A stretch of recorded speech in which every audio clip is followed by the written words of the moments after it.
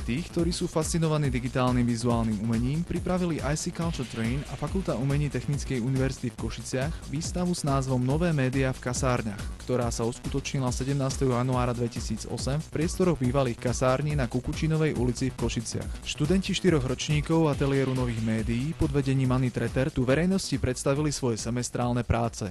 Uh, it's contemporary art because it's Nova Media and it's uh, Nova Media is also reflecting about uh, new media and everybody live with mobile phone and uh, video cameras and all computers and such things. And uh, this is connection with fine art and uh, and uh, and Nova Media with new technique, new possibility, and uh, to work on it and uh, develop new ideas with this. Uh, also formal ideas with, uh, with this medium.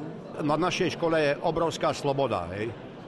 A to, to dáva, to uvoľňuje proste tie, tie tvorčie, tvorčie schopnosti toho jednotlivého študenta. Takže my nabádáme skorej väčšej smelosti a neuzatvárať sa len do seba, ale proste otvoriť sa. Hej.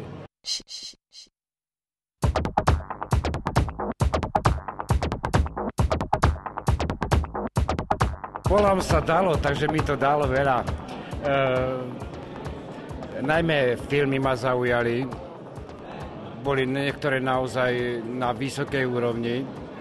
Fotka a grafika, malba. Odkiaľ si z ktorého mesta? Liptovský hrádok. Podporíš Košice a jeho kandidatúru? Jednoznačne. Sú tu mladí ľudia, stále prinašajú niečo nové, snažia sa, je to na nich vidieť. A proste je to silné. Je to dosť vtipné. Vtipné? No. Čo je na tom vtipné? Všetko. Neviem to celkom popísať, čo to vo mne všetko vyvolalo, ale Výstava sa mi páči aj tým, že aj svojou plnosťou, aj diferencovanosťou a tak.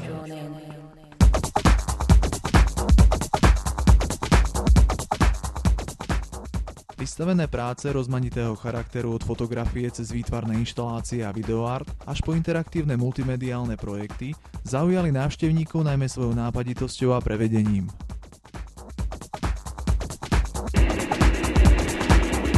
Podľa mňa sú Košice top favorit. A, a bude veľká, veľká, veľká škoda, ak by sa náhodou stalo a verím, že sa to nestane, že by to Košice nevyhrali.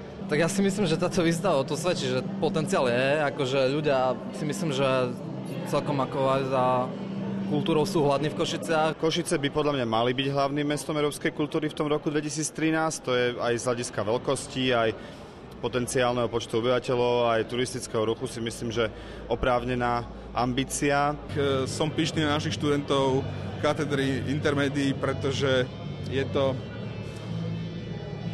pekný štart do budúcnosti Košíc a je to, je to kultúra, ktorá sa dá v týchto priestoroch prevádzať, je na úrovni. Chceme ukázať, že tieto priestory sú ideálne práve na tento typ výstav a že pri minime finančných prostriedkov je tu možné vlastne spraviť to, čo tento typ umenia potrebuje. It's the best thing and when we continue with this activity, it's, uh, it's uh, not only Slovakia best, but uh, international best. Držme teda Košiciam palce, aby v rozhodujúcom boji o zisk titulu Európskeho mesta kultúry naozaj obstálo a aby si kvalitné umenie a zdravá kultúra našli svoje pevné miesto v galériách aj srdciach ľudí tohto mesta.